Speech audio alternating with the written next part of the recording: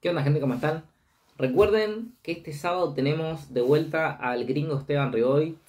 Esteban que, bueno, su primera pelea dentro de UFC no, no se dio como le esperaba, buen desempeño eh, contra un rival que, vino en corto aviso, que eh, lamentablemente era compañero de él en, su gimnasio, así que eh, dieron una linda pelea que terminó en decisión. Esteban se vio mucho mejor de pie que, el adversario, pero bueno, el adversario con derribos y con control en el suelo pudo llevarse la, la decisión en los jueces. Por fuera de esto, Esteban viene con 11 victorias, todas por finalización. Su victoria en el Dana White Contender Series, que fue en el primer round, primer minuto, un knockout hermoso. Así que a, estar atentos a esta pelea, que iba a ser la primera de las preliminares de, este UFC 290, pero bueno, pasó a ser la segunda ya que se agregó una pelea más. Fuera de esto, eh, Esteban debería ser favorito en esta pelea.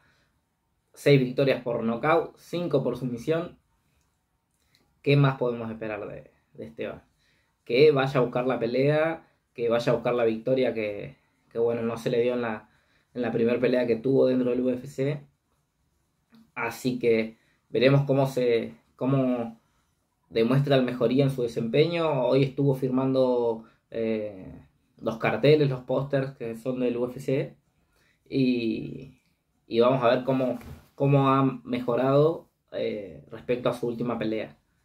Fuera de esto, eh, darle todo el apoyo posible a, Esteban, ya que, ya que eh, se lo merece, él es un gran prospecto a, tener en cuenta él, Francisco, Aileen Pérez, que, que, bueno, que están acomodándose dentro del UFC. La semana que viene pelean tanto Esteban, perdón, eh, Francisco Prado con, con Aileen Pérez la, semana que viene. Así que a estar atentos porque hay mucho movimiento de parte de los argentinos que tan bien hace y que tanto se necesita dentro de, las artes marciales mixtas. Así que nada, nada más que agregar.